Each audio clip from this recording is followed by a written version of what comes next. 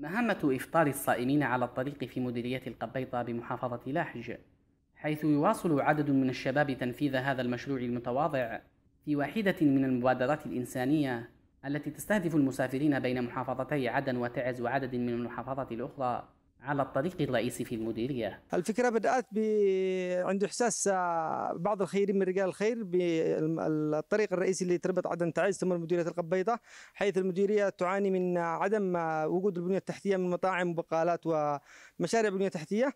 فرجال الخير اهتموا بهذا الجانب ويشعرون أنه هناك مبادرة ستقام بإفطار الصائم والموسم الثاني ويرعاها الاستاذ عبد الحكيم ردمان وكيل مصلحة الجمارك آه لإفطار الصائم، نحن نوزع وجبات إفطار صائم فقط لا غير، هدفنا كان مطعم لكن ما توفقناش فيه وإنما استمرنا بتوزيع وجبه إفطار الصائم مكونة من تمر وماء وبعض الكيكة والوجبات الخفيفة التي توزع وتستهدف المسافرين بدرجة أولى.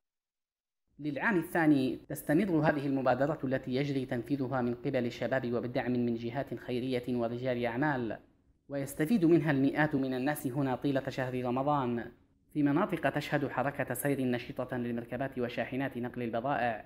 كما أن افتقار الطريق لمحطات التموين كالمطاعم وغيرها يعزز من أهمية هذه المبادرة لتلبية حاجة المارة من هنا من خلال تقديم وجبات الإفطار لهم. مبادرة جيدة وممتازة. الرسول صلى الله عليه وسلم قال من أفطر صائما كان له مثل أجره لا ينتقص من أجره شيء. في هذا الطريق الذي بعض الأحيان تنقطع السبل بالمسافر لا توجد له أقرب بقالة أو أقرب كذا. فهذا هؤلاء الشباب يقدموا خدمة لهذا المسافر بتقديم هذه الوجبة الخفيفة تساعده على الوصول إلى أقرب نقطة. يستطيع من خلالها أن يستغيث فيها. بالنسبة للمنطقة منطقة زي ما تشوفون منطقة قرى. لا يوجد فيها مطاعم ولا ولا بوفيات وهذا هم الشباب جزاهم الله ألف خير بما يقدموا في هذه العطاء.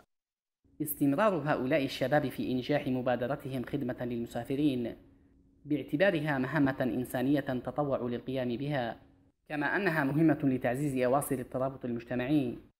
كقيمة مثلى بنظر القائمين على المشروع. سامح عبد الوهاب قناة بلقيس لاحق